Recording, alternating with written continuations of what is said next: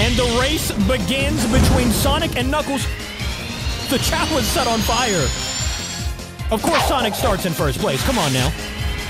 It's Sonic the Hedgehog, man. Knuckles is taking all the long routes. Oh, dang, never mind. I love the way this looks. Like I said, it looks like we're playing a video game right now. Even the springs.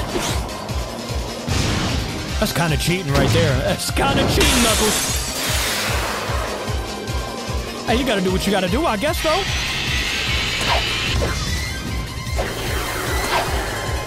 Why didn't you just do that from the beginning, Sonic?